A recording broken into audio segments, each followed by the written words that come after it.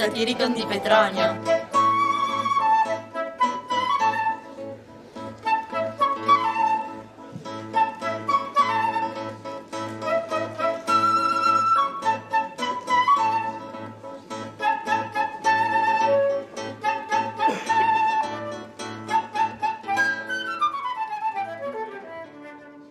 Molti lettori contemporanei e, e tra questi molti artisti che per la loro speciale sensibilità si segnalano tra i lettori comuni, stimano il satirico uno dei massimi capolavori dell'antichità classica. E a differenza di altri classici la fortuna attuale del romanzo non accenna affatto a declinare, anzi aumenta con gli anni e con gli studi. Proprio per questo è importante eh, ripetere, se ce ne fosse ancora bisogno, che del romanzo ci è pervenuto solo un frammento. È un frammento molto ampio, ma non dimentichiamo mai che è un frammento un testo di circa 80-100 pagine, eh, se lo leggiamo in una edizione media a stampa, residuo di un'opera che, per quanto ci è dato sapere, poteva anche essere dieci volte la lunghezza delle metamorfosi di Apuleio. Pochi capolavori della letteratura mondiale sono segnati da ombre così molteplici e sovrapposte. Del satirico eh, praticamente è incerto tutto, non c'è nulla di sicuro. Sono incerti l'autore, la data di composizione, il titolo e anche il significato del titolo l'estensione originaria, la trama, per non parlare di questioni meno concrete ma non meno importanti, quali il genere letterario, ha suscitato un mucchio di dibattito, eh, il genere letterario in cui inserire quest'opera e le motivazioni per cui quest'opera, per molti versi strana, eccentrica, venne concepita e pubblicata. Eh, la grandezza artistica dell'opera, eh, l'unico dato certo che abbiamo, è una grande, bell'opera, no? un capolavoro. Eh. La bellezza artistica, la grandezza artistica dell'opera non fa che alimentare la nostra curiosità. Tuttavia, non tutti gli aspetti dell'opera sono altrettanto incerti per l'attribuzione e la datazione, come si vedrà tra un momento, eh, esiste una soluzione pienamente soddisfacente. Per altri aspetti sarà bene ricordare continuamente quanto limitate e parziali restano le nostre conoscenze e le relative ipotesi. Incominciamo eh, con questi problemi preliminari, autore e datazione. Nessun autore antico ci dice chi fosse il misterioso Petronius Arbiter, autore, secondo la tradizione manoscritta, del Satiricon. A giudicare eh, dalla pur ridottissima tradizione indiretta del Satiricon, l'opera deve essere stata composta non oltre la fine del secondo secolo d.C., ma niente di più preciso. D'altra parte Tacito, che non parla del Satiricon, ci presenta nel decimosesto libro degli Annales uno straordinario ritratto di un cortigiano di Nerone di nome Petronio.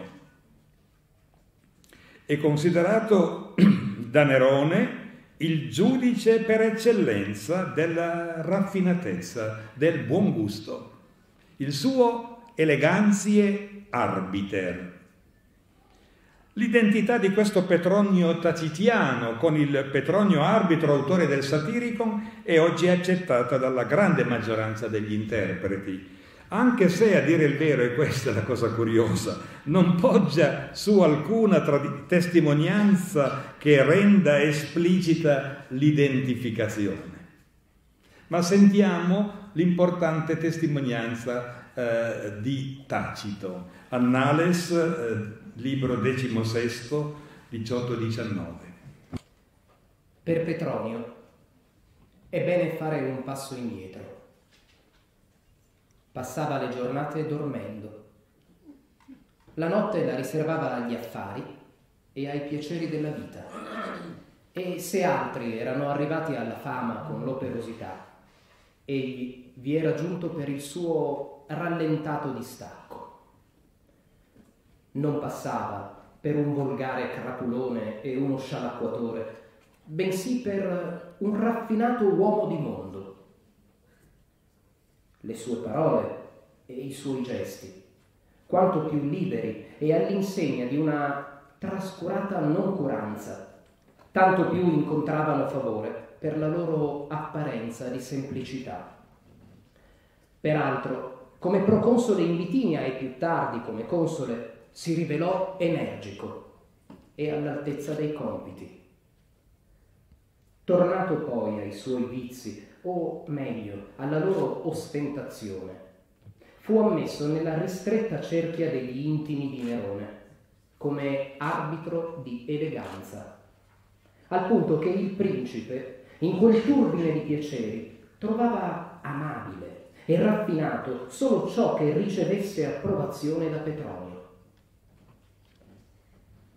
Da qui la gelosia di Tigellino, rivolta, si direbbe, a un rivale che ha più successo nella scienza della voluttà. E Tigellino s'appiglia allora alla crudeltà del principe, più forte in lui di ogni altra passione, imputando a Petronio l'amicizia con Scevino. Fu corrotto alla delazione uno schiavo e fu sottratto a Petronio ogni mezzo di difesa gettando in carcere la maggior parte dei servi. Casualmente, in quei giorni, si era recato Cesare in Campania e Petronio aveva proseguito fino a Cuma e là si tratteneva. Non volle protrarre oltre l'attesa, nel timore o nella speranza, però non corse a liberarsi della vita, si fece aprire le vene, per poi, a capriccio, chiuderle. E poi riaprirle ancora, intrattenendosi con gli amici, ma non su temi seri, quelli che gli procurassero gloria di fermezza. Non ascoltava discorsi sull'immortalità dell'anima o massime di filosofi ma poesie leggere e versi giocosi. Ad alcuni servi distribuì doni, ad altri frustate. Sedette a banchetto, indulse al sonno, perché la sua morte, benché imposta, apparisse accidentale.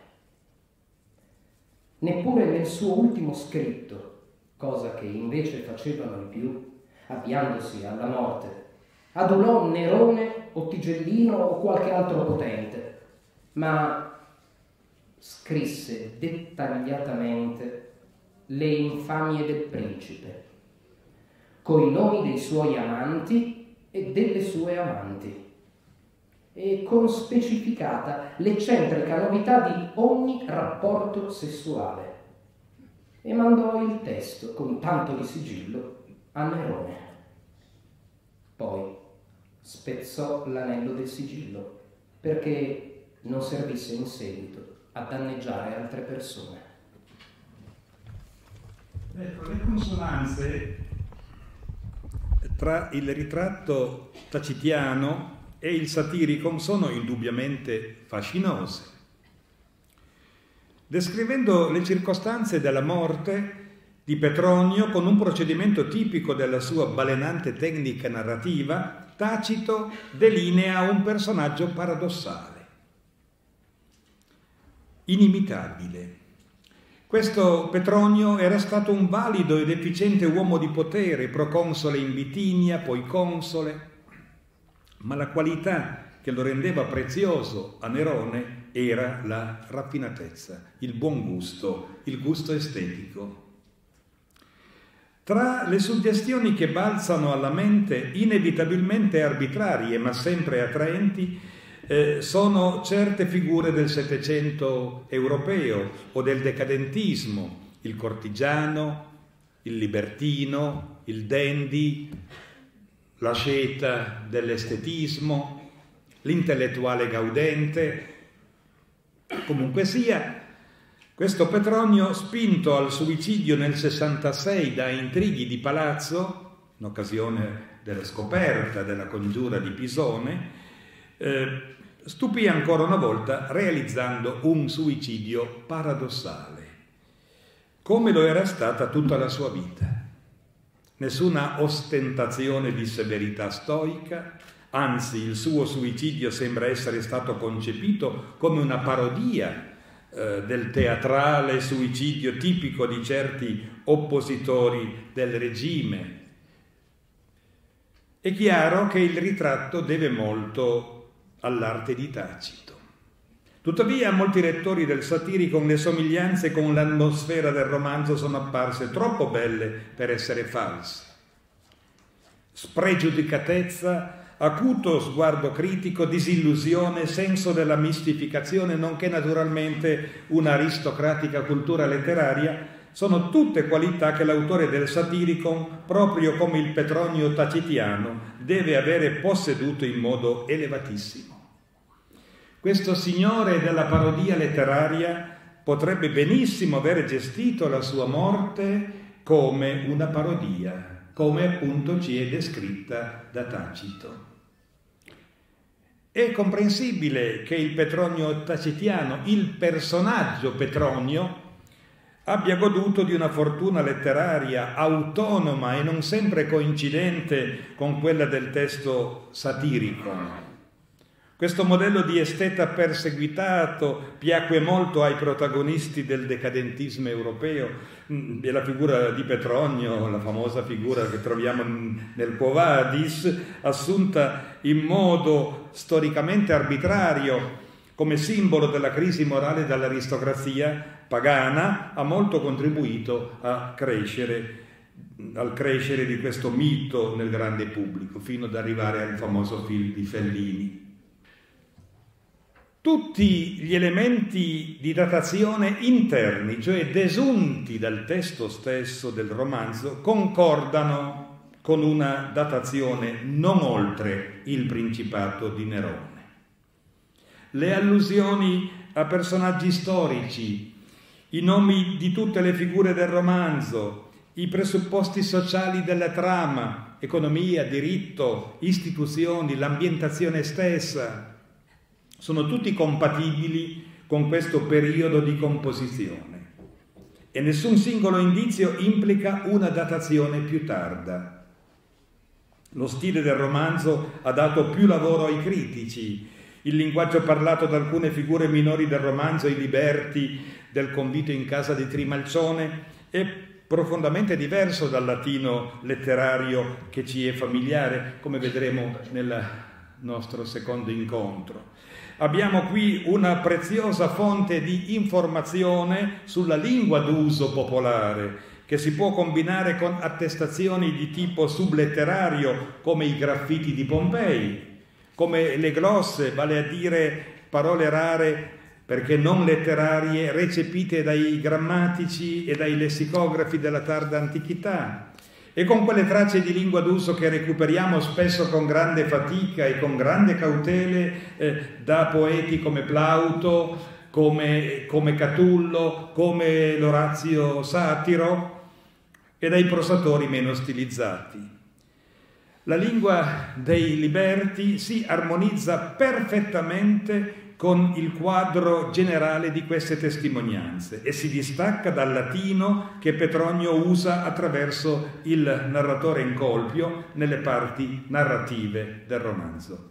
Il contrasto è voluto e presuppone un cosciente dosaggio artistico. È chiaro, è chiaro che i, i, i cosiddetti volgarismi non costituiscono un indizio per una datazione tarda dell'opera, come qualcuno ha sostenuto, nemmeno quando certi termini e certe costruzioni ci appaiono dei fenomeni unici, senza paralleli.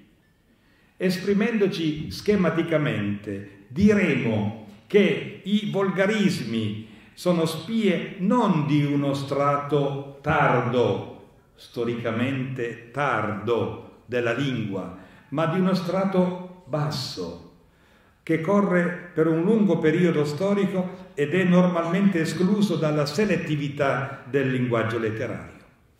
Eh, portarlo alla luce è una ricerca artistica di Petronio guidata da un preciso programma letterario. In sintesi, si può dire che il romanzo deve essere stato composto nel periodo neroniano. Ecco, potrebbe semmai essere ambientato in un periodo precedente, ma nulla di più. E anche lasciando aperto il problema della identificazione di Petronio, questa conclusione sulla datazione è praticamente ormai sicura. Altro problema, il titolo.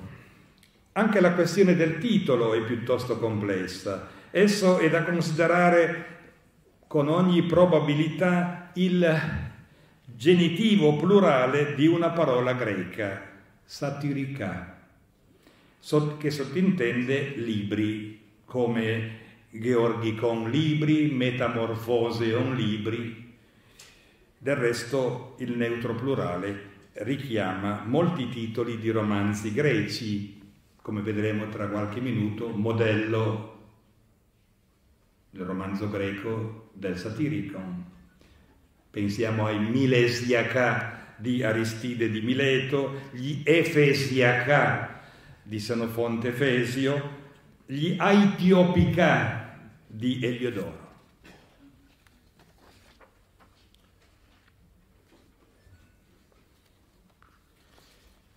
Veniamo invece ad un problema più complesso e anche, se permettete, più importante, il problema del genere letterario, perché non si può dire con tutta tranquillità il satirico di Petronio è un romanzo, ci sono grossi problemi, alla fine diremo che è un romanzo, ma passando attraverso diverse precisazioni. Nessuno dei termini moderni eh, che, che, usiamo per definire la narrativa di finzione, novella, romanzo, ha una, come sapete, ha una tradizione classica. Gli antichi applicano a queste opere narrative termini molto generici, storia, fabula. I critici moderni chiamano romanzi un gruppo ristretto di opere. Due testi latini, come sappiamo, il Satiricon appunto di Petronio e le Metamorfosi di Apuleio e un corpus di testi greci databili tra il I secolo d.C. e il IV secolo. I romanzi greci eh, integralmente conservati hanno come temi dominanti l'amore e l'avventura. È stato ribadito più volte nel bellissimo convegno che abbiamo tenuto nel 2009 sul romanzo dei greci e dei romani. Eh, queste, ribadite queste due componenti essenziali del romanzo, antico e moderno, la componente erotica, romanzo come storia d'amore, e la componente avventurosa, che poi sono le due componenti dei promessi sposi. Eh? una storia d'amore travagliata con un mucchio di ostacoli, però con l'happy end, con lieto fine. E variano peraltro molto liberamente uno stesso schema narrativo, due giovani belli, di buona famiglia e di buon carattere, di buoni sentimenti, si innamorano e si accingono alle nozze ma vengono ben presto divisi da un evento esterno. Entrambi affrontano separatamente ogni sorta di peripezie, rapimenti da parte di pirati, di briganti, riduzione in stato di schiavitù, cambiamenti di padroni, viaggi, naufragi, il, il, ricongiungimento è ostacolato in mille modi ed è continuamente messo a repentaglio la loro fedeltà alla persona amata. Subiscono ogni tipo di pressioni e di costrizioni da parte di persone che vogliono sedurli, ma la resistenza che oppongono a volte eroica, spinta fino al suicidio, a tentativi di suicidio, Ehm, eh, che falliscono sempre o che portano a morti apparenti e a sorprendenti resurrezioni e una quantità di imprevisti colpi di scena fanno sì che essi riescano a mantenersi illibati fino ad un ricongiungimento che segna l'inizio di una felice vita coniugale e la fine del romanzo. Si tratta dunque di storie edificanti, in cui la virtù di persone buone è sottoposta ad un lungo percorso di difficili prove, la tenacia nel restare fedeli alla propria virtù è alla fine comunque ricompensata col premio finale della felicità coniugale e vissero felici e contenti. Al contrario del nostro romanzo latino, questa serie di romanzi greci è unita da una notevole omogeneità e da una comunanza di tratti distintivi. Primo, invariabilità della trama traversie di una coppia di innamorati separati dalle avversità e che si riuniscono dopo infinite avventure, pericoli, peripezie, intrecci complessi e lieto fine. Secondo, tono serio. I protagonisti sono presi sul serio, il loro amore è trattato con pudicizia, come una passione seria ed esclusiva. Terzo, partecipazione del, del narratore e del pubblico.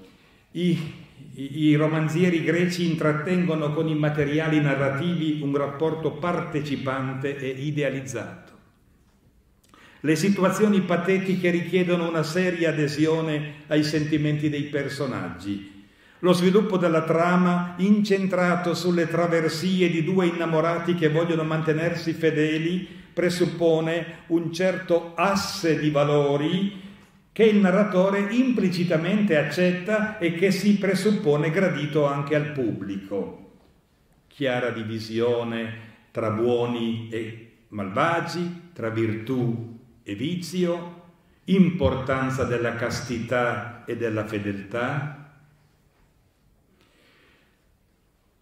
idealizzazione e partecipazione sono dunque tendenze che staccano nettamente il romanzo greco da quello latino, il quale appare dominato da tendenze ben diverse, ironia, con conseguente distacco critico tra i personaggi e il lettore, realismo, escludente ogni semplificazione idealizzante, poliglottismo, che presuppone un pubblico colto, ben diverso da quello popolare del romanzo greco. L'eros poi è trattato in maniera ben diversa. Non c'è spazio per la castità e la fedeltà. Nessun personaggio è un serio e credibile portavoce di valori morali. Il sesso qui è trattato in modo esplicito, è come una continua fonte di situazioni comiche e imbarazzanti. Per questo si è interpretato addirittura il satirico nella sua ispirazione fondamentale come una parodia dell'idealizzato romanzo greco d'amore, come un suo rovesciamento parodico In luogo della coppia di giovani virtuosi e di buona famiglia, qui abbiamo la coppia omosessuale di Encolpio e Gitone, personaggi amorali e pronti ad ogni furfanteria. L'amore di Encolpio per Gitone ha impeto e una notevole tenacia, ma la coppia si apre ben presto al triangolo erotico omosessuale con Ascilto e ad altri rapporti omosessuali, eterosessuali, cui i personaggi sono prontamente disponibili per piacere o per paura o per interesse. Ricorrono scene caratteristiche del romanzo greco come il naufragio eh, e anche il tentativo di suicidio, che anzi viene più volte ripetuto o mimato con scoperto effetto buffonesco, in luogo di paesaggi esotici e remoti, gli eroi di questo romanzo latino percorrono luoghi dell'Italia familiari ad ogni lettore. E se nel romanzo greco, come nell'epica, le peripezie dei protagonisti sono a volte guidate da una divinità che impone un travaglio di purificazione a un personaggio da cui si sente offesa, nel romanzo sono le divinità dell'amore, Afrodite ed Eros, oppure Eros, Encolpio appare perseguitato da una divinità minore e grossolana, Priapo, il dio rustico della virilità che lo punisce con una ridicola, persistente eh, impotenza un guaio molto realistico che non tocca mai gli idealizzati eroi dei romanzi greci. Insomma, in Petronio il tema ellenistico della fedeltà tra innamorati, conservata e difesa eh, a tutti i costi, tipico della commedia Menandrea e, e del romanzo, è ribaltato in quello della fedeltà tradita di continuo. Altro esempio di rovesciamento parodico del romanzo greco idealizzato è, rappresentato dal comportamento topico della ragazza. Nel romanzo greco d'amore idealizzato è, proprio la ragazza che è tenuta a difendere a tutti i costi, con ogni mezzo, la propria verginità per arrivare illibata al matrimonio mentre in Petronio è proprio il femmineo Gitone che nel gioco di coppia sostiene il ruolo passivo dell'eromenos eh, a tradire spudoratamente in colpio l'erastes ogni volta che può. D'altra parte, la narrativa seria non è sicuramente l'unico genere a cui Petronio poteva riferirsi, l'unico modello a partire almeno dal primo secolo a.C. ha grande fortuna una letteratura minore, novellistica, ma molto popolare, eh, si può capire, eh, caratterizzata da situazioni comiche, spesso piccanti, amorali, noi diremmo boccaccesche, adulteri, amori clandestini, buffi incidenti, un filone importante di questa letteratura è rappresentato dalla fabula Milesia, dai Milesiaca di Aristide di Mileto, secondo secolo a.C. Petronio sappiamo, è sicuro ormai che utilizzò ampiamente questo filone di narrativa non idealizzata. Tipiche storie milesie eh, sono le inserzioni novellistiche, quali la novella della matrona di Efeso e eh, quella dell'Efebo di Pergamo. Ancora più complessa è la forma del romanzo. La prosa narrativa è infatti interrotta da inserti poetici, alcuni di notevole estensione, perché questo è il problema, non sono citazioni poetiche, sono inserti lunghi centinaia di versi, di esametri. Pensiamo alla già citata Troie Alosis, eh, la presa di Troia, e al Bellum civile, la guerra civile. È la parodia della farsaglia di Lucano, polemica parodia. Quest'uso ricorrente di inserti poetici rappresenta un grosso problema critico perché allontana il satiricon dalla tradizione del romanzo. Non possediamo nessun romanzo di questo tipo e lo avvicina dal punto di vista formale, almeno formale, ad altri generi letterari.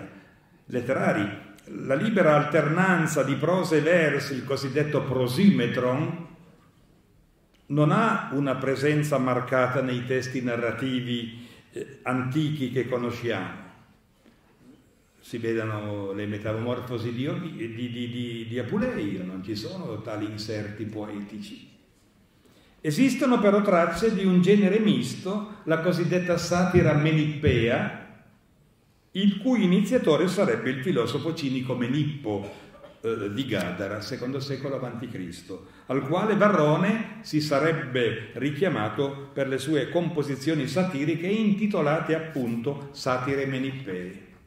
Ma è chiaro che l'andamento di vasta narrazione di avventure stacca nettamente il satiricon da tutta la tradizione della satira latina e il racconto si mantiene eh, in un quadro di realtà eh, senza quelle estrose invenzioni fantastiche eh, che troviamo in questo genere, voli in cielo, discese agli inferi, che erano proprie della satira menippea e che erano state riprese anche da Seneca nell'Apocoloquintosis. Nel satirico mancava poi ogni intento moraleggiante e ogni interesse filosofico e didascalico che sono propri di tutta la tradizione satirica.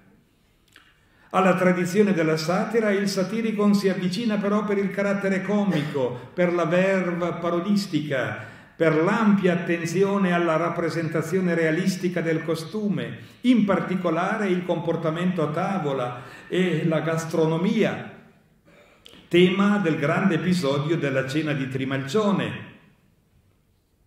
Sono anche tema obbligato di ogni autore di satire. E Petronio per la sua cena prende sicuramente a modello le satire gastronomiche di Orazio. Pensiamo soltanto alla ottava satira del secondo libro, La cena in casa di Nasidieno. Questo bel rapporto cena di Nasidieno, Orazio e eh, cena di Trimalcione è stato eh, messo in luce molto bene nel nostro convegno di vent'anni fa eh, da Michele Coccia, nel nostro convegno su Orazio per il bimillenario di Orazio ci fu una relazione proprio su questo rapporto, cena di Nasidieno e cena di Trimalcione. Altro importante tema della satira di Orazio e poi di Giovenale, che ha largo sviluppo in Petronio, era quello della caccia alle eredità. Ulteriori temi del satiricon comuni alla satira sono per esempio le conversazioni in viaggio e le discussioni di teoria letteraria. Petronio ha dunque alimentato la sua opera di importanti elementi derivati dal genere letterario romano più realistico. E a esso ha ispirato il suo interesse per l'osservazione del costume, intorno a elementi caratteristici della satira ha costruito grandi episodi, la cena, la caccia all'eredità, alla tradizione della menippea varoniana egli ha certo guardato nella creazione del suo prosimetro, ma la sua opera è fondamentalmente narrazione in prosa. E va dunque riportata alle variegate tradizioni narrative greche e latine che ai margini della letteratura ufficiale, prive di riconoscimento nel canone dei generi, proponevano un intrattenimento disimpegnato, piacevole, spesso anche piccante, a un pubblico largo e di, molto popolare, ovviamente diversificato, eh, di lettori, di, però non solo popolare, perché poi alla fine, a ben vedere, sono poi lettori di svariati livelli culturali, perché Petronio riesce anche ad accontentare il pubblico, anzi il pubblico colto. Tentando un bilancio, il satirico dunque deve molto alla narrativa greca seria e comica per trama e struttura del racconto. E qualcosa alla tradizione melippea per la tessitura formale, il prosimetro appunto, ma trascende in complessità e ricchezza di, di effetti entrambe le tradizioni. Il dato più originale della poetica petroniana rimane la parodia e il realismo. E cominciamo con la parodia, sono queste le due colonne eh, de, di, questo, di quest'opera straordinaria, la parodia e il realismo. Il satirico è interamente dominato da una vocazione alla parodia. Una parodia che coinvolge un po' tutti i generi e non soltanto il romanzo greco, come abbiamo appena visto, soprattutto quelli più elevati, sovente prigionieri di situazioni degradate. Si vedono tra i molti esempi che potremmo fare. Ecco, il caso dell'astuta ancella che nella novella della matrona di Efeso, pensate un'ancella analfabeta, e cita tranquillamente versi di Virgilio per convincere la padrona a, a concedersi al mile scorteggiatore. Oppure pensiamo ad Encolpio, perseguitato da Priapo, cioè affetto da blocco sessuale, che così eh, eh, epicamente si paragona ad Odisseo perseguitato da Poseidone. E lo stesso Encolpio, quando impotente rivolge una requisitoria contro il proprio membro virile inerte, si paragona, pensate a Ulisse, che apostrofava il proprio cuore abbattuto per esortarlo uh, alla fermezza.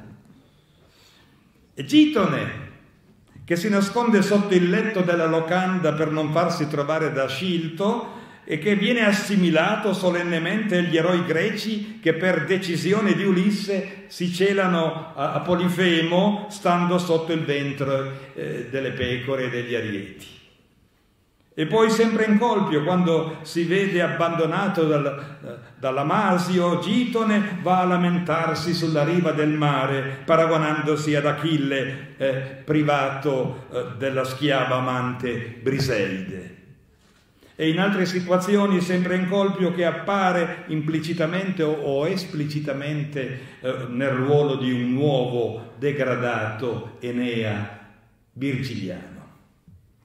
Ma Soprattutto ricorrenti ci appaiono le allusioni all'Odissea, al punto che si è pensato alla storia di Encolpio come alla parodia dell'Odissea, come ad una moderna Odissea di pitocchi, di diseredati, di straccioni. Ma a questo riguardo occorre essere molto prudenti e ritenere che la parodia omerica vada riassorbita nel gioco molto più complesso delle parodie inesauribile tessuto del satirico. Petronio ha chiamato a raccolta, reinterpretato, re, rivisitato, parodiato tutti i generi letterari, l'epica, la tragedia, la commedia, la storiografia, l'elegia erotica, la filosofia.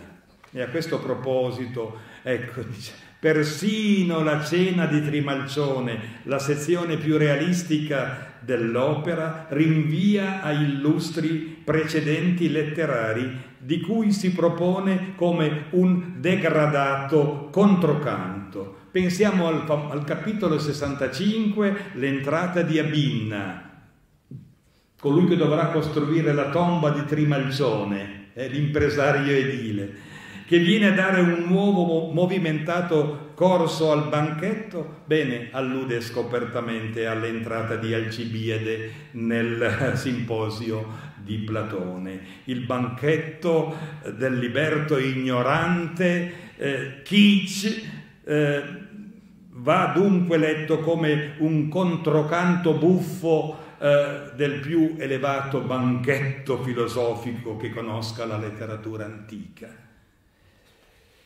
Per illustrare la tecnica petroniana della parodia sarà più che sufficiente analizzare questo episodio, un minuto. Della, quello della cena si colloca in una lunga tradizione. Dice Trimalcione al capitolo 39, tutto solenne, o portet etiam intercenandum philologiam nosse. Anche a cena bisogna sapere di letteratura. In letteratura sono stati descritti molti simposi con le loro dotte discussioni e anche qui l'ospite compie tentativi saltuari e ovviamente fallimentari di tenere la conversazione sul culturale, capite gli esiti disastrosi. Gli tocca la stessa esperienza che era capitata ad Agatone eh, nel simposio di Platone.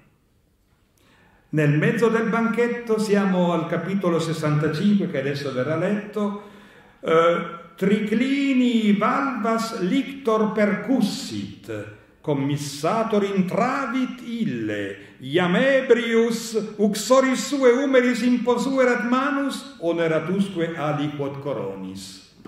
Molti ne hanno riconosciuto la fonte, il simposio 212 CD, ed ecco che subito si sentì battere alla porta dell'atrio da cui proveniva un gran frastuono come di una festosa brigata.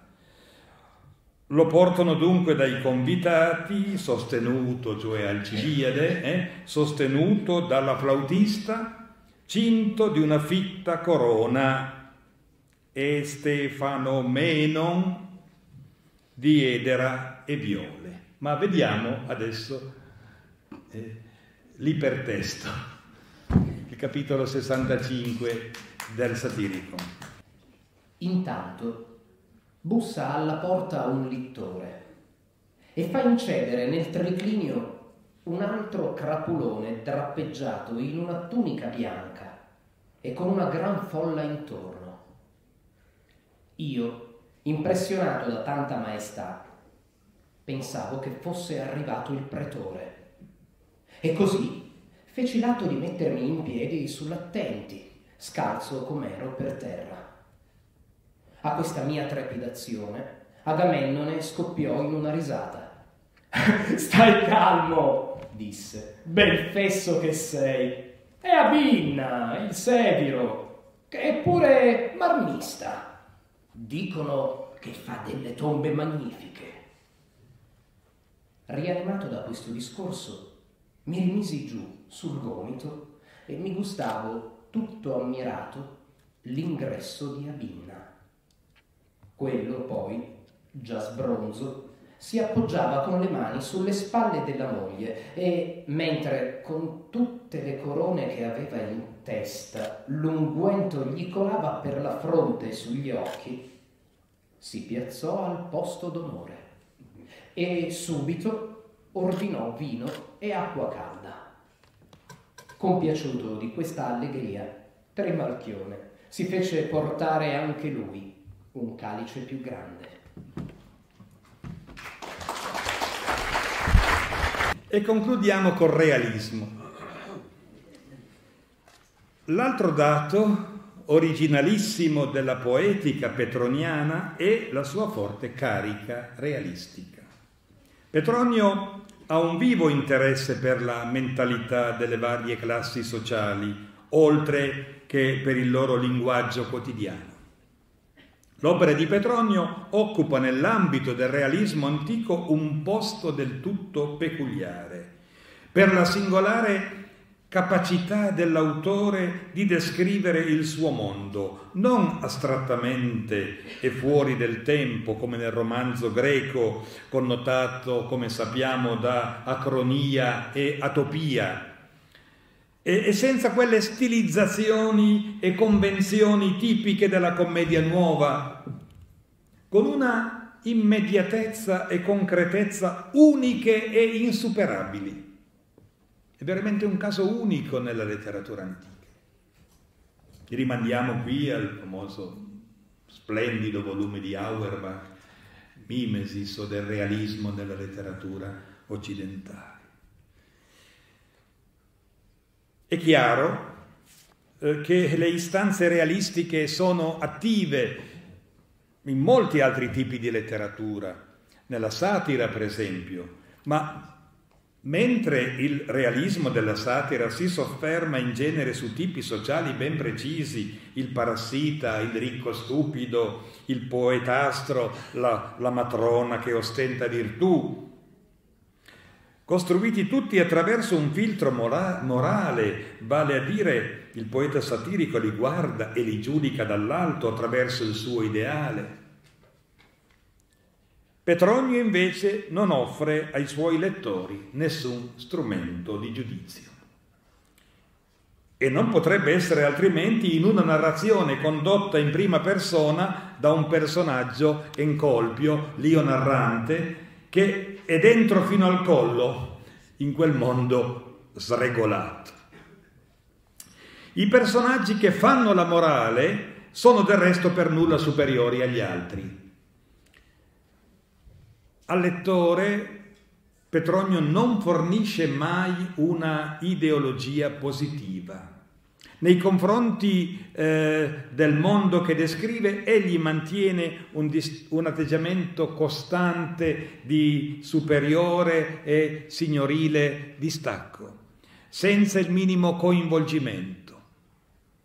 Osserva e descrive tutto con assoluta spregiudicatezza, con uno spirito ironico e giocoso, ora malizioso, ora beffardo, sempre scettico e disincantato. Petronio ci fa percorrere vicoli bui dove si fanno incontri equivoci, ci fa entrare in un bordello, eh, in una modesta locanda, in una piazza di mercato dove con la complicità della sera si vendono merci rubate, nelle miserande abitazioni di vecchie fattucchiere. Questi bassifondi urbani e altri luoghi un po' più qualificati come le terme, una pinacoteca, una scuola di retorica, la casa sfarzosa del liberto arricchito, non sono propriamente descritti dall'autore, questo è interessante, ma sono vissuti dai personaggi, sono rappresentati attraverso le parole e gli atti dei personaggi stessi, ecco il realismo modernissimo. E in primo luogo attraverso le parole del personaggio narratore, Encolpio. Naturalmente Petronio come abbiamo già detto, guarda sempre con superiore distacco intellettuale e con ironia al mondo che descrive, ai personaggi che agiscono e parlano in esso e anche al personaggio narratore Encolpio, ma la scelta di condurre la narrazione dall'interno attraverso le parole e gli atti e i gesti dei personaggi stessi ottiene un eccezionale effetto di immediatezza nello sguardo sulla realtà.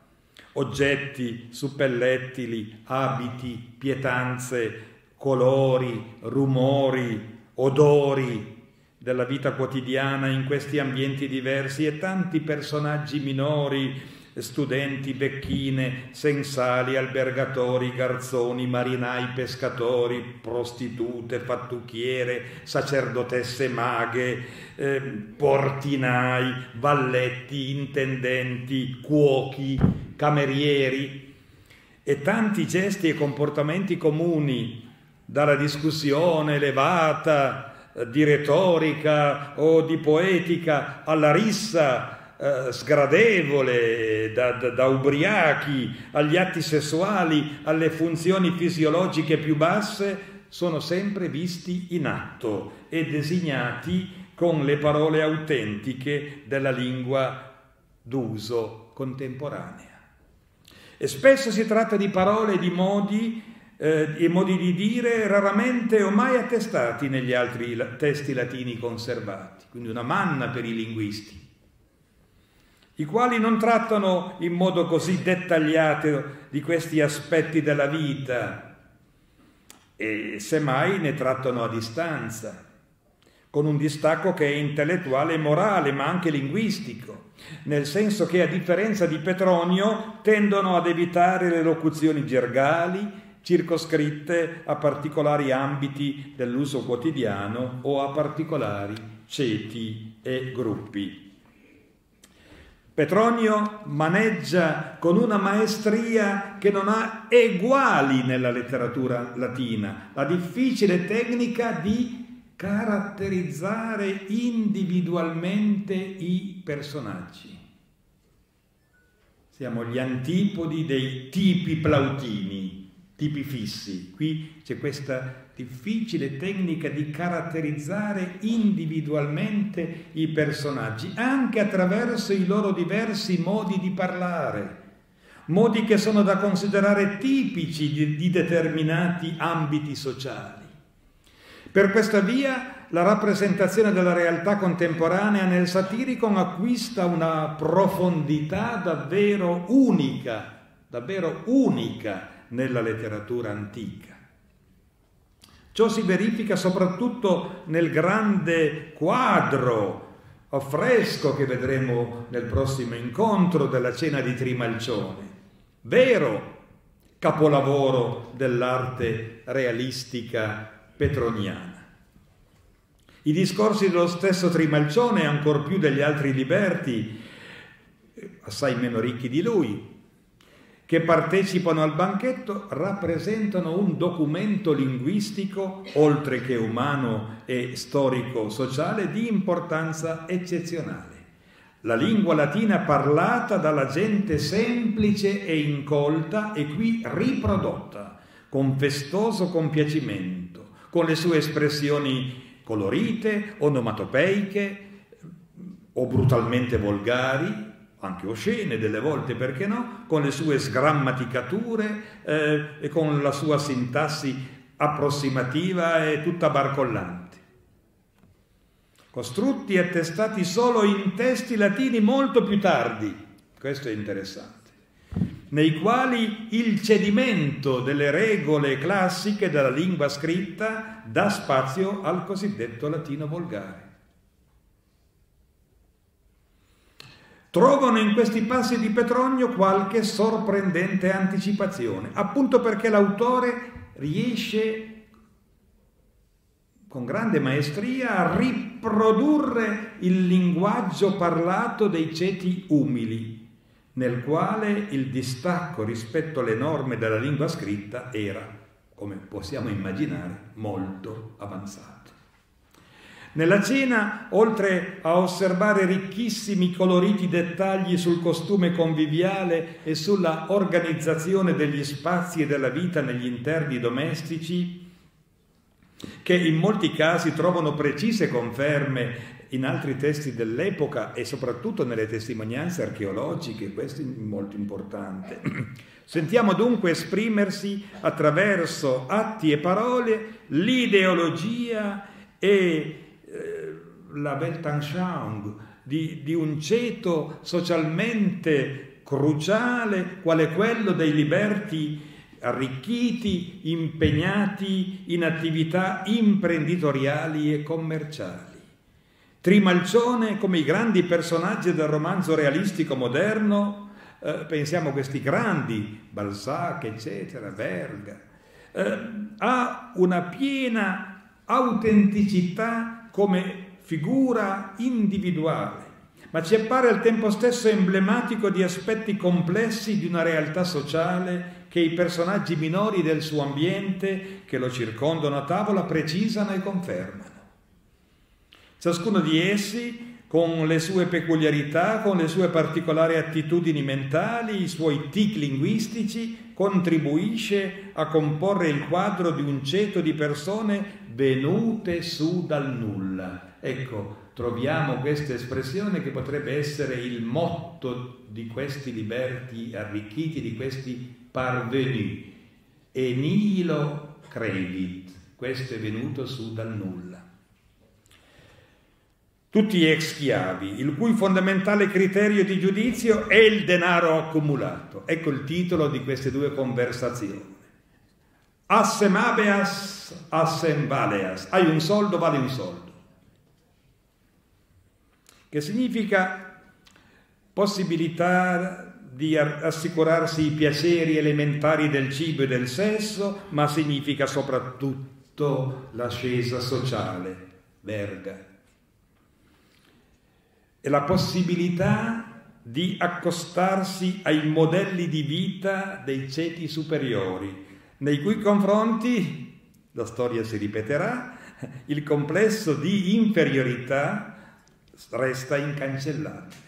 Pensiamo storia, nella storia moderna alla borghesia che attacca la nobiltà, che però grande, alla fine dimostra che il suo più grande eh, scopo è quello di assimilarsi alla nobiltà, acquistare e comprare titoli nobiliari. Questo rapporto di amore e odio.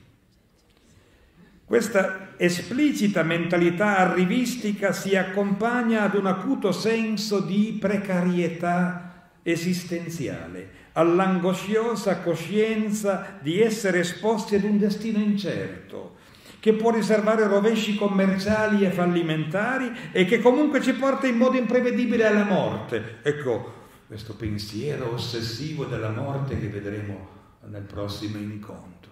Abbiamo già visto, pensate è normale un parvenu che inviti a cena tutte le volte al suo fianco l'impresario edile che gli dovrà costruire la tomba e un impresario, un impresario che deve cambiare continuamente eh, progetto in base all'umore del, del, del, del, eh, di Trimalcione, perché se va d'accordo con la moglie in quel momento, allora mettimi una statua di, mia, di Fortunata piangente, se litiga, togli la statua, non voglio avere quella strega, la morte. Quindi ecco, il pensiero della morte, questo è interessante.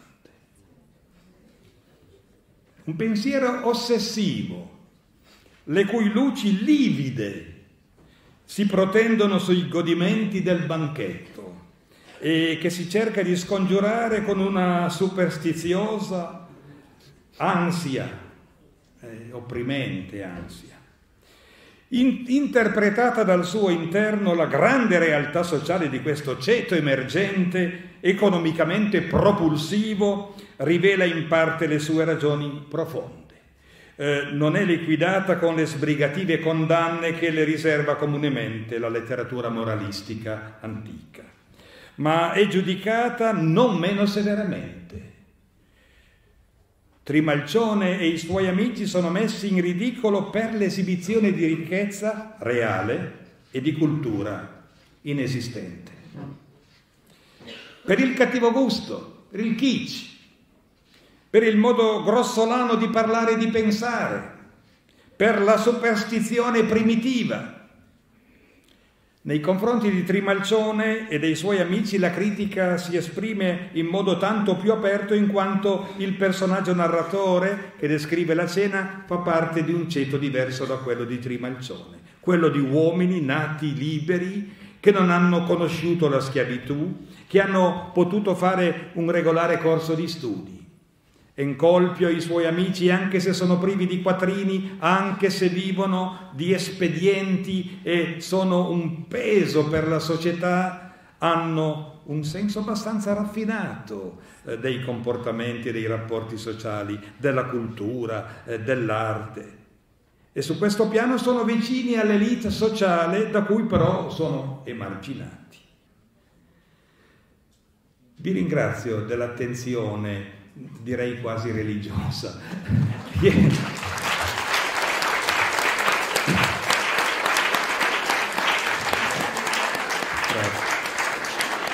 Chiedo, chiedo, anche scusa per questa introduzione forse un po' troppo teorica, ma era necessaria prima di affrontare i testi. Il nostro lettore ha lavorato un po' poco questo, quest'oggi, ma eh, ci diamo appuntamento a febbraio dove lavorerà almeno il triplo o il qua, perché dopo questa introduzione che però era necessaria per capirci, avete capito che è un testo strano come minimo, strampalato, eh, stravagante, ci voleva questa introduzione, la volta prossima faremo degli assaggi interessanti di brani introdotti e commentati, così potrete gustare veramente eh, questa opera straordinaria.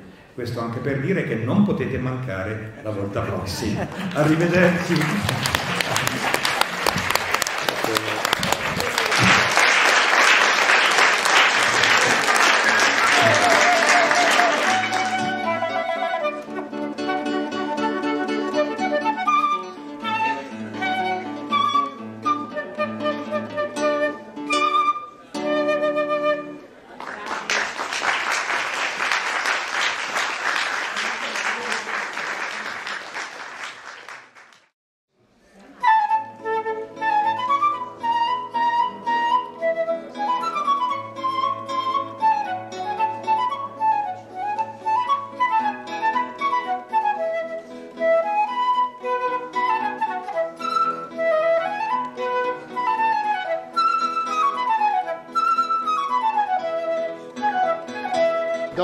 Andate? Andiamo alla conferenza del professor Oglione.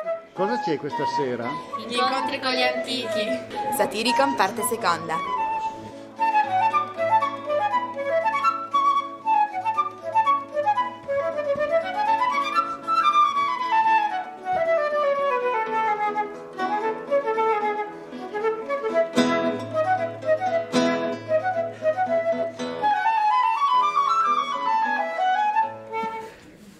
Nostro incontro precedente abbiamo rimarcato con insistenza che due sono gli ingredienti fondamentali che fanno del satiricon un unicum nel- della letteratura classica e un capolavoro della letteratura universale. La parodia e soprattutto il realismo. Sulla parodia ci siamo soffermati, e spero in maniera adeguata, la volta scorsa. Vorrei pertanto dedicare tutto l'incontro di oggi alla illustrazione, suffragata da testi, del secondo elemento, che è poi quello veramente innovatore rispetto a tutta la restante produzione letteraria classica, il realismo. L'originalità del realismo petroniano si manifesta in modo particolare nel lungo, lunghissimo racconto della cena di Trimalcione. Il racconto è dominato dalla figura dell'anfitrione, un liberto di origine asiatica che eh, si è fatta una fortuna colossale, possiede uno stuolo innumerevole di schiavi che egli tiranneggia con fare insieme autoritario e paternalistico ed investe il suo denaro in ogni sorta di aziende e imprese capitalistiche. Egli non rinnega le sue origini, anzi è tutto orgoglioso di essersi fatto dal nulla, di essere a self-made man e lo va continuamente ripetendo. Secondo lui l'uomo vale per il denaro che possiede, il titolo appunto del nostro incontro. Creditemi, assem habeas, assem valeas. Credete a me, hai un soldo, vali un soldo. Il suo maggior piacere è quello di ostentare la sua ricchezza di fronte ai commensali allibiti, allo scopo proprio di epatè, di meravigliare. Ogni atto della interminabile cena si svolge per esempio a suon di musica, con una successione pirotecnica di trovate e di artifici gastronomici. Come tutti gli arricchiti, secondo una lunga tradizione letteraria, egli è un esempio insigne di cattivo gusto. Le sue gaffe non si contano. Tra le sue manifestazioni di cattivo gusto rientra la pretesa di ostentare una certa cultura letteraria. Egli disprezza la filosofia e si vanta di non essere mai andato uh, a lezione da un filosofo, ma in compenso possiede ben tre biblioteche e inserisce continuamente nei suoi discorsi citazioni letterarie, allusioni eh, mitologiche che ovviamente sono sempre sbagliate e, e per nulla pertinenti e rivelano una grande confusione mentale, una grande confusione di idee. Inoltre rivela un'esagerata passione per i giochi di parole, per gli indovinelli e si compiace di battute di spirito pesanti e di sottolineature volgari. Questi tratti che connotano Trimalcione, noi li troviamo già tutti, e questo è il bello, già tutti condensati nella scena dell'entrata solenne, una vera antrè regale, dare sole proprio, di Trimalcione nella sala eh, del banchetto, al capitolo 23. Una scena che svolge proprio la funzione di una vera e propria presentazione di questo eroe negativo. Trimalcione fa il suo ingresso trionfale carico di gioielli e di vesti lussuose come una divinità. Questa descrizione così minuziosa dell'abbigliamento del personaggio è chiaramente caricaturale. Ogni suo gesto o d'ordine è una ostentazione di ricchezza, di dominio, di ingegnosità, di originalità. Trimalcione in ogni manifestazione rivela la sua cattiva educazione e la sua smisurata brama di far mostra di sé, riserva per sé il primo posto a tavola contro ogni buona creanza. Arriva per ultimo facendosi aspettare, lui padrone di casa fa scrivere il suo nome sul vassoio accanto al peso dell'argento, per cui i convitati conoscono di ogni eh, no, vasellame, di ogni il peso. La sua trionfale entrata importantina, a, a, a suon di musica, completa degnamente la presentazione eh, del personaggio. Questo insuperato campione di kitsch, considera infatti segno di originalità e di eleganza il disporre che tutta la servitù esegua gli ordini cantando, in conformità al suo gusto borghese per i pantomimi, spettacoli di varietà generalmente snobbati dagli intellettuali e molto amati invece dal popolino. L'entrata di Trimalcione è proprio un capolavoro di cafoneria. Volendo sembrare cortese, egli afferma di aver fatto un grande sforzo eh, a venire al banchetto, sacrificando i suoi piaceri e continua tranquillamente la partita dadi, trascurando gli ospiti.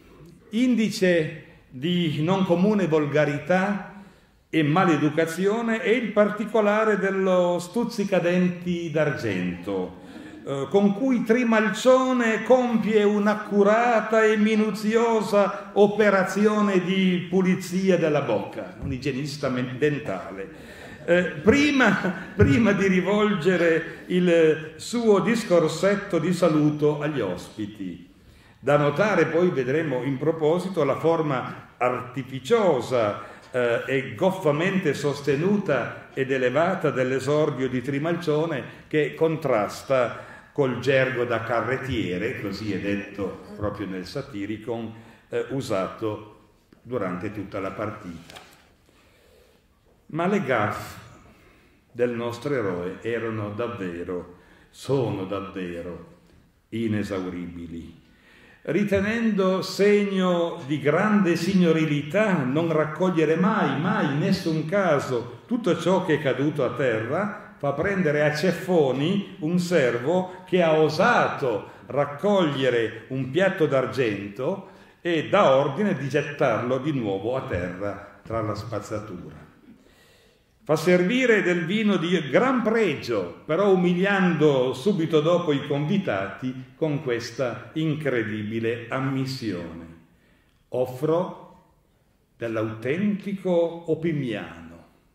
Pensate, ieri non ho servito del vino così buono, eppure a cena avevo ospiti di molto maggiore riguardo, molto onestiores. Ma ormai penso che sia ora di dare la parola a, a, a Petronio e, e, direi che parodia, è proprio il caso di dire questa volta parodiando eh, l'incipit delle metamorfosi di Apuleio, rivolgendomi a tutti, auditor intende le taberis.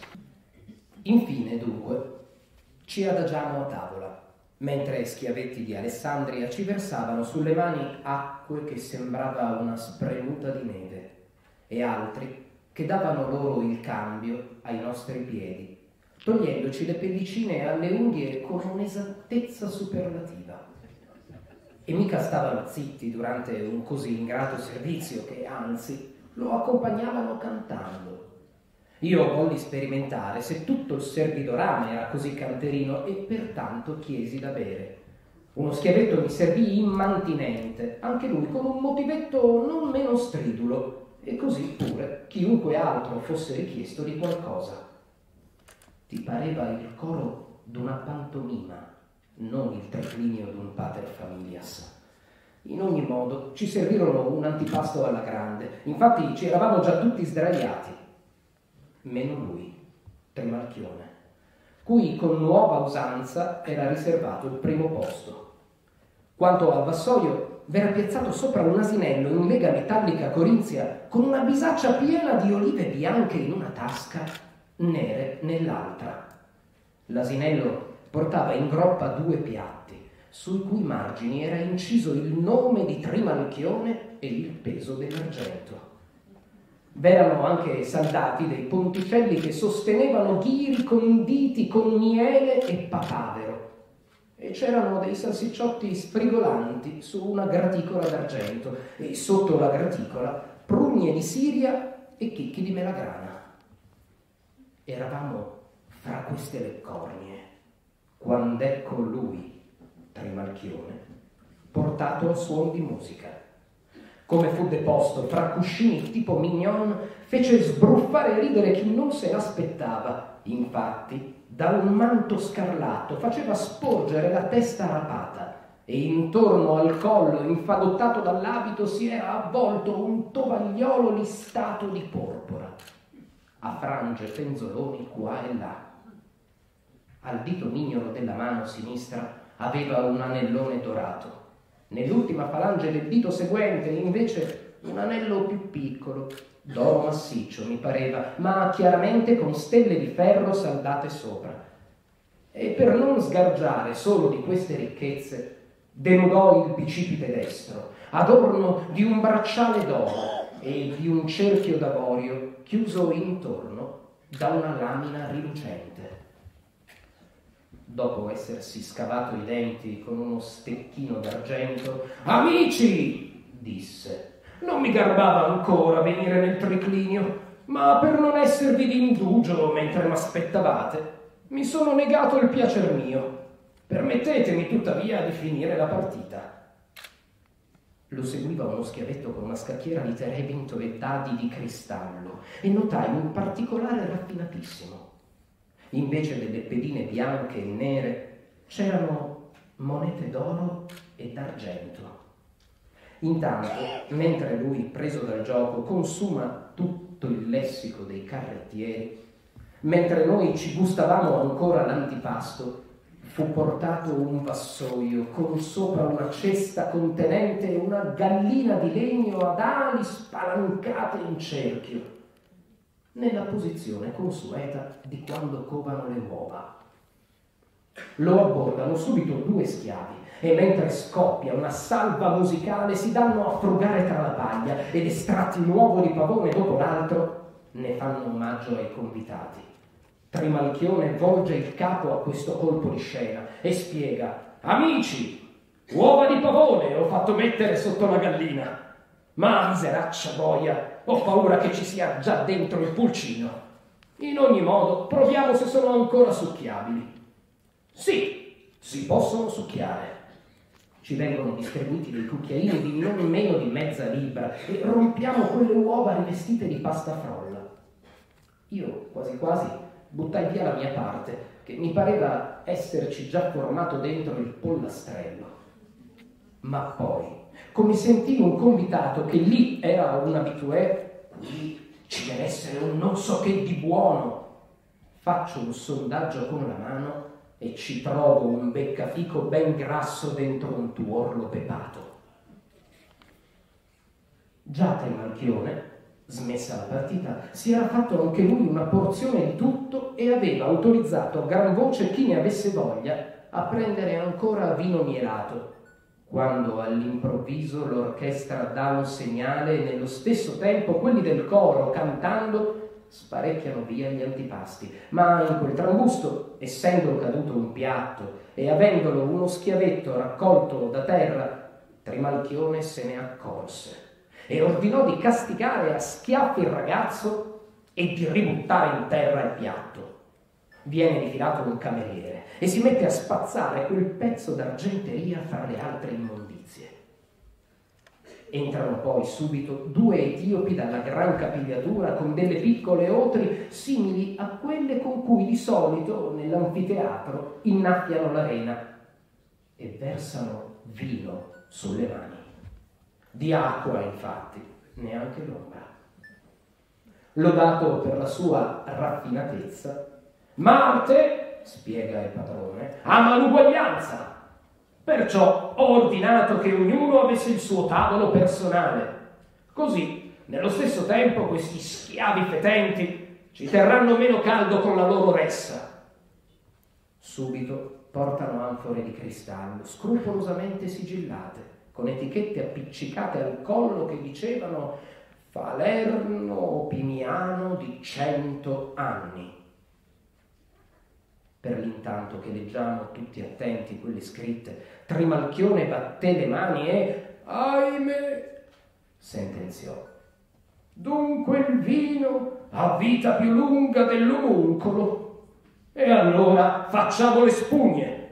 Il vino è vita. Questo qui è opiniano puro. Non ne ho imbandito uno così buono ieri, eppure avevo a cena ospiti molto più prestigiosi. Mentre noi dunque beviamo, tutti compresi ed estatici a quelle lussuosità, uno schiavo portò uno scheletro d'argento, costruito così che le sue giunture e vertebre, snodate, potessero piegarsi da ogni parte. Avendolo una volta e due volte buttato sulla tavola e ogni volta quel mobile congegno assumendo posizioni diverse, Trimalchione commentò ai noi miseri, come nulla l'intero omuncolo. Così saremo tutti, dopo che l'orco ci avrà rapiti. Dunque viviamo finché possiamo ancora spassarcela. Realizzando una sorta di ideale rincomposizione Dall'antrè di Trimalcione all'inizio della cena passiamo ad analizzare subito la degna e presagibile, date le premesse, conclusione della cena stessa. Il racconto della cena alla fine subisce una graduale accelerazione del ritmo, come avviene nelle farse. L'ebbrezza toglie ai personaggi l'artefatta maschera di rispettabilità. Si accendono le liti e affiora il fondo più volgare e più basso degli animi. Trimalcione e la moglie fortunata rivelano la loro bassa origine e Trimalcione stesso fa la storia della sua ascesa e dei mezzi poco puliti con cui è riuscito a diventare padrone, in casa del suo padrone. È scomparsa ogni pretesa di ostentare l'educazione e la cultura di una classe superiore. Unico valore rimane il denaro. E di questo valore Trimalcione è pienamente orgoglioso e compiaciuto. Se ne va L'apoteosi della ricchezza che egli fa si conclude degnamente, come vedremo, con l'idea fissa del funerale che tramanderà la sua ricchezza ai posteri. Oltre ad essere uno straordinario personaggio letterario, Trimalcione è altamente rappresentativo di quel particolare tipo umano che è il liberto romano. In lui Petronio ha mostrato, eh, esasperandoli in forma caricaturale, i comportamenti e la mentalità eh, di uno dei gruppi socialmente più attivi del suo tempo e nel tracciarne la biografia ha certamente tenuto presenti personaggi reali eh, ben noti ai suoi lettori. Trimalcione assomiglia a uno di quegli eroi di, di Balzac eh, che sono divorati dal, dall'ambizione eh, di farsi strada nel mondo. Ancora bambino è portato in schiavitù a Roma dalla provincia d'Asia ed acquistato da un gran signore. Grazie al suo bell'aspetto è fatto oggetto di attenzioni intime de, dal padrone ed egli vi sottostà senza vergogna perché afferma non c'è nulla di male a fare quello che il padrone comanda. Ma nello stesso tempo si dà da fare anche per accontentare la padrona e così a poco a poco assume mansioni sempre più importanti fino a diventare dispensator, tesoriere della casa. A questo punto il giovane schiavo ha già una posizione invidiabile, migliore di quella di tanti liberi poveri. La società romana infatti non è una banale piramide di classi come si pensa. Per esempio, uno schiavo impiegato come funzionario imperiale o come segretario eh, di un senatore era dal punto di vista giuridico ovviamente un gradino più in basso eh, rispetto al bracciante poverissimo eh, di condizione libera però, ma dal punto di vista sociale ed economico era incomparabilmente più in alto. Tuttavia Trimalcione è destinato a ben altro. Il suo padrone muore donandogli la libertà e per di più quasi tutto il suo patrimonio. Liberare i propri schiavi per testamento era, come sappiamo, un'usanza legata a quella che i sociologi definiscono ostentazione della ricchezza attraverso i consumi fino allo sperpero. E Trimalcione poteva dunque legittimamente aspettarsi questa ricompensa. La sua vera fortuna però sta nel fatto che il suo padrone muore senza eredi, questa è la sua grande fortuna e in questo modo non soltanto acquisisce un grosso capitale, ma diviene anche giuridicamente indipendente. La libertà in sé infatti significa poco. Il liberto rimaneva legato, come sappiamo, all'ex padrone da una complessa serie di obblighi eh, formali, obsequium eh, eh, e sostanziali anche, opere che di fatto ne limitavano, ne limitavano enormemente l'autonomia. E se non vi ottemperava poteva essere accusato di ingratitudine e addirittura essere ridotto di nuovo in schiavitù. Trimalcione invece non deve rispondere a nessuno e può lanciarsi negli affari per proprio conto. La scelta è quasi obbligato Cos'altro potevano fare in una società preindustriale delle persone che, a differenza degli aristocratici, non avevano legami con la terra? Trimalcione, Trimalcione eh, si dedica ai, ai traffici marittimi su vasta scala, compra e vende vino, ma anche senza alcun imbarazzo schiavi, presta denaro a usura ad altri liberti, in breve moltiplica enormemente i, i suoi eh, averi.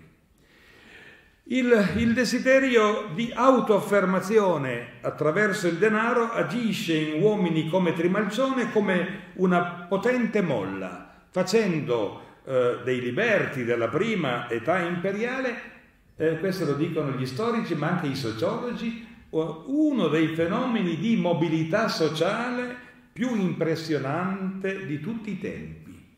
Il Satiricon 74.8, 77.6.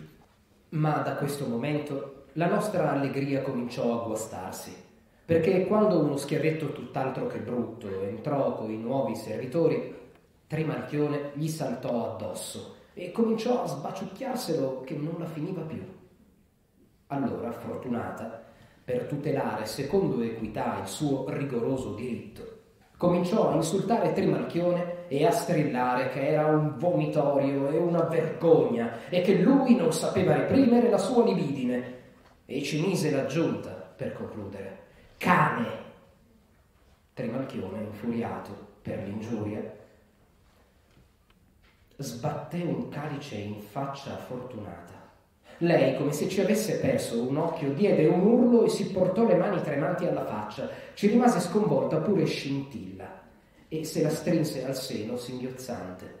Ci fu anche uno schievetto tutto premuroso che le porse un brocchetto d'acqua fresca e, fortunata, premendoci la guancia sopra, prese a gemere e a frignare. Invece Tremalchione imperversava ma non si ricorda più che era una battona canzonettara. L'ho levata io dal marciapiede e l'ho fatta un essere umano come gli altri, ma si gonfia come una rana e non si sputa in seno. Uno strazio, non una donna. Chi nasce in una capanna non sogna palazzi, ma che il mio lume tutelare mi assista. La domo io questa Cassandra da marciapiede e io, uomo da due soldi, me la potevo pure pescare una con la dote di 10 milioni di sesterzi.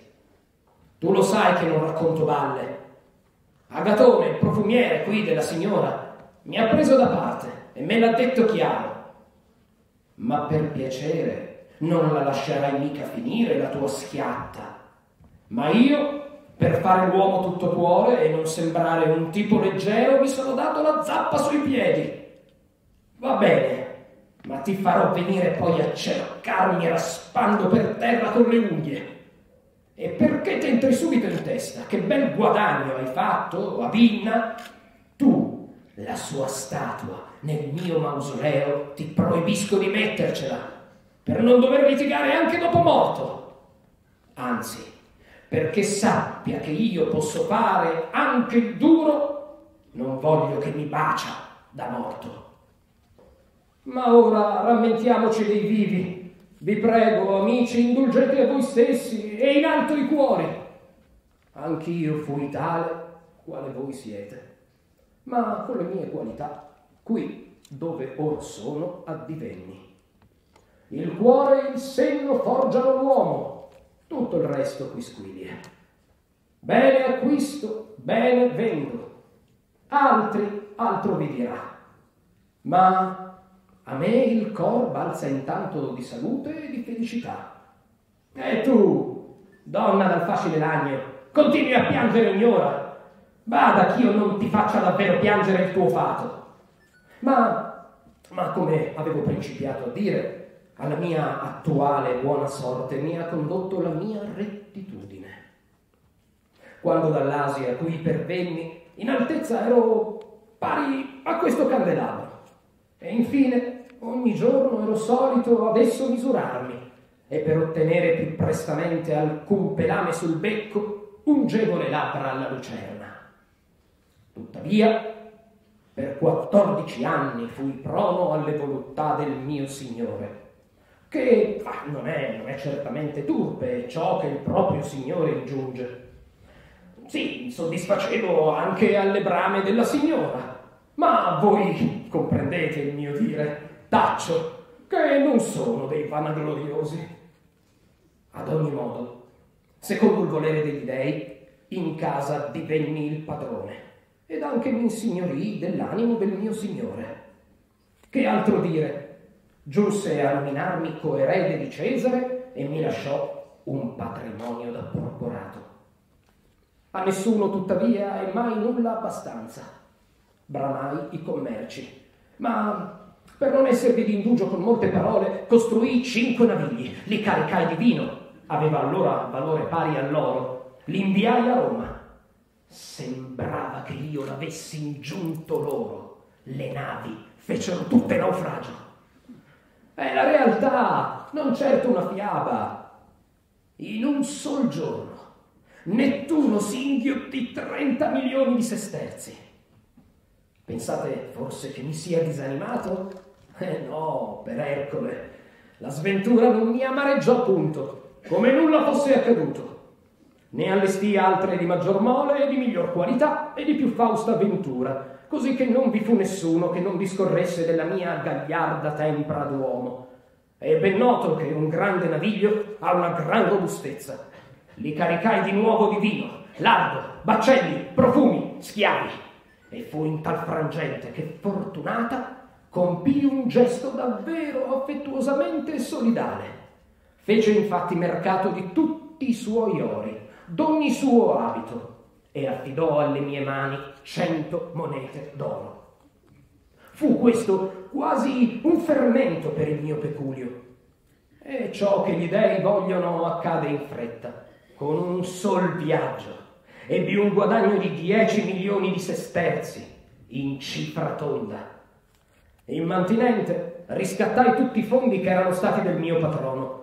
Feci edificare la dimora, acquistai schiavi in blocco, animali da soma e da traino. Qualunque cosa toccassi, s'accresceva quasi fosse un favo. Dopo aver cominciato ad avere io più possessioni che non l'intera mia città, desistetti dai libri mastri, mi tolsi dai commerci e intrapresi il prestito ai liberti.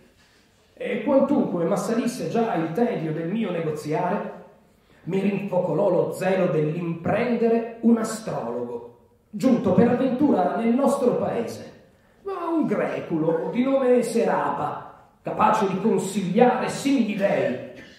E fu esso a dirmi ciò di cui m'ero smemorato. Tutto mi squadernò, dall'accia al lago. Sembrava conoscere anche le mie interiora ed era già molto che non mi dicesse di cosa mi fossi nutrito il giorno innanzi. Sembrava avesse diuturnamente dimorato con me. Aiutami a dire, Abin, mi sembra che tu fossi presente. Tu hai conquistato la padrona con quelle tue arti sconvenienti. Tu sei poco fortunato con gli amici. Nessuno ti è mai grato abbastanza. Tu possiedi i latifondi. Tu nutri una vipera sotto la tua ala. E mi predisse, perché non confidarvelo, che mi restano 30 anni, 4 mesi e 2 giorni da vivere. Inoltre sarò presto ereditiero. Questo stabilisce il mio fato. E se mi sarà dato di collegarmi con i miei terreni alla Puglia, la mia vita sarà stata un lungo cammino. Frattanto, sotto la custodia di Mercurio, ho edificato questa casa. Come forse saprete, era una capanna, ora è una cattedrale ha quattro sale da pranzo, venti stanze da letto, due portici di marmo, una teoria di mansarde al piano superiore, la stanza dove io godo dei miei sogni, il soggiorno di codesta mia viperea consorte, l'ottima portineria, ah, la foresteria può accogliere quanti mai ospiti abbiano a sopraggiungere. In sintesi, quando Scauro qui pervenne, non gradì ospitalità in altro sito, pur avendo lunghesso il mare ampio ospizio paterno, ed innumerevoli altri beni fruisco, che ora subito vi mostrerò. Prestatemi fede. Possiedi un centesimo, ti si stima un centesimo. Possiedi di più, di più sarai reputato. Così, così questo vostro amico fu una rana, ora è maestà sovrana il denaro, l'ossessione per il possesso. È il tema dominante, eh, come abbiamo appena visto, che attraversa l'intera parabola esistenziale di Trimalcione, un personaggio che reca scritto nel nome tre volte potente Signore, nome che denuncia l'origine asiatica, trimalchio, malk nelle lingue semitiche vuol dire signore, padrone, anche in ebraico melk, pensiamo Melchisedec, ecco. Tre volte potente signore. Ecco, già reca scritto nel nome la predestinazione al potere, in un mondo in cui potere e denaro coincidono sempre, sempre più e il sistema di valori dell'antica Repubblica non risponde più alle istanze di una società in mutamento, in cui emergono nuove forze e nuove ricchezze. Il denaro è l'orizzonte minimo eh, cui si riconducono tutte le aspirazioni di Trimalcione e dei liberti invitati alla sua cena. L'identità stessa dei personaggi è definibile in termini di denaro.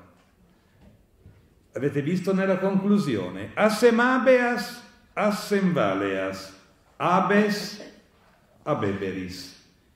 Hai un soldo, vale un soldo. Possiedi, più possiedi, più sarai stimato. L'uomo vale quanto possiede.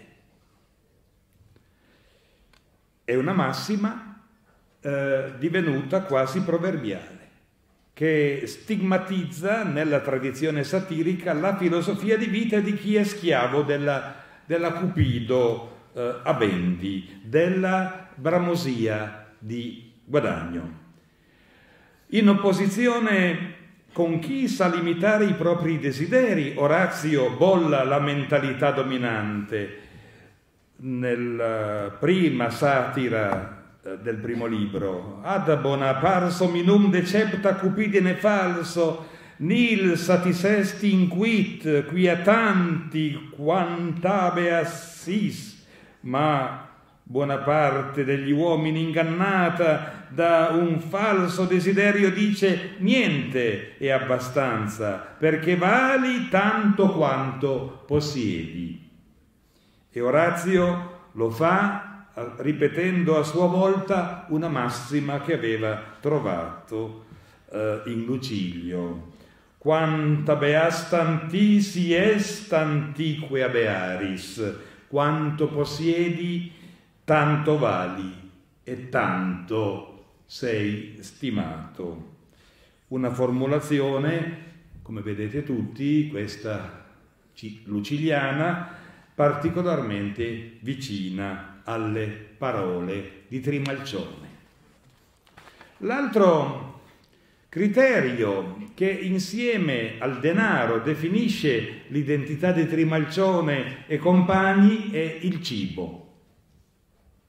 Si potrebbe parafrasare la sentenza citata da Trimalcione dicendo che nella cena l'uomo è non solo quello che ha, ma anche quello che mangia. Il tempo stesso della vita di Trimalcione è scandito da ritmi gastronomici. Entrando in casa gli ospiti si trovano di fronte ad un calendario che registra i futuri impegni del padrone di casa, impegni che poi consistono essenzialmente in banchetti e inviti a cena. Ora per celebrare le capacità divinatorie dell'astrologo, l'abbiamo appena visto, che gli ha cambiato la vita, Trimalcione dice che era tanto bravo da conoscere persino le sue interiora, il suo intestino, e che poco mancò che non mi dicesse che cosa avevo mangiato, dice, eh, la sera prima. Un'intera vita rappresentata dai bisogni del corpo. L'identità di cibo e denaro nell'universo esistenziale di Trimalcione trova espressione anche sul piano del linguaggio, attraverso l'uso di metafore alimentari in riferimento al denaro. Per indicare la perdita economica causata dal naufragio abbiamo visto Trimalcione ricorre alla metafora mitologica che fa di Nettuno un ingordo riccone eh, come lui. Neptunus dice trecensies sestertium devoravit. Il contributo personale di Fortunata alle finanze del marito è definito peculi, peculi mei fermentum, lievito, che come il pane fa crescere il suo patrimonio. E, difatti subito dopo dice quid quid tangebam crescebat tanquam favus. Tutto ciò che toccavo cresceva come un favo.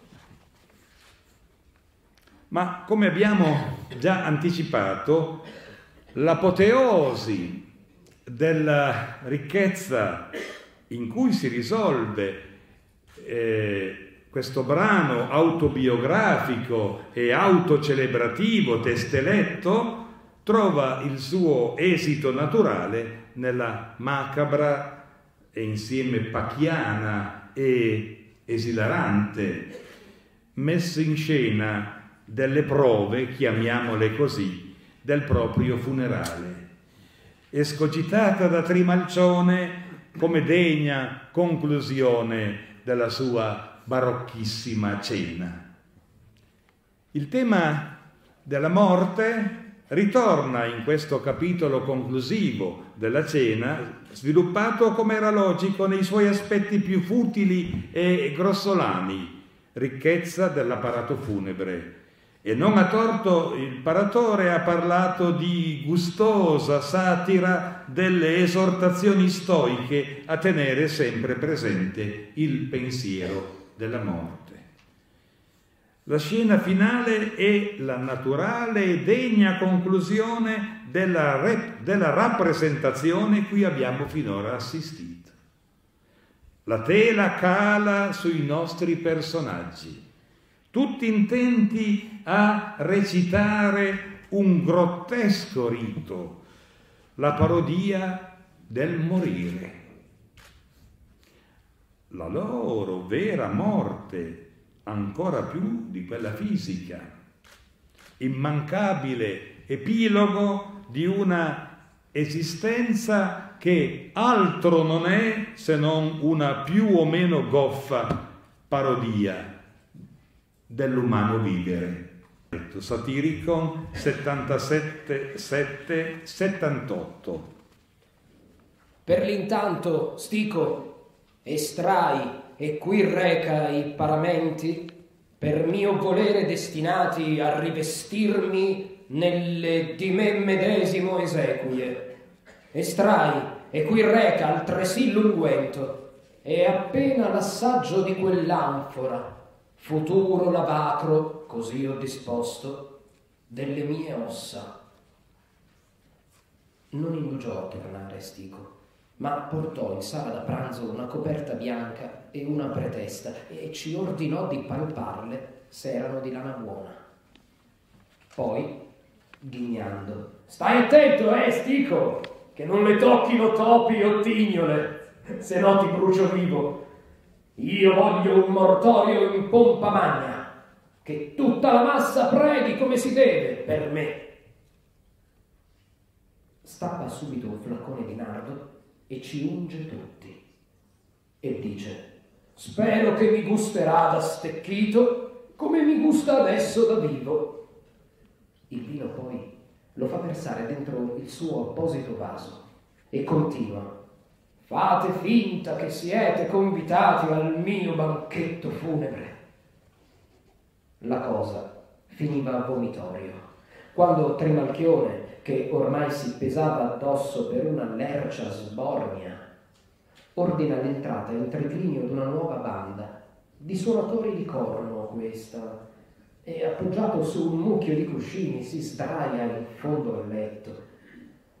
Fatevi conto farfugliò, che io sono defunto, suonatene una bella.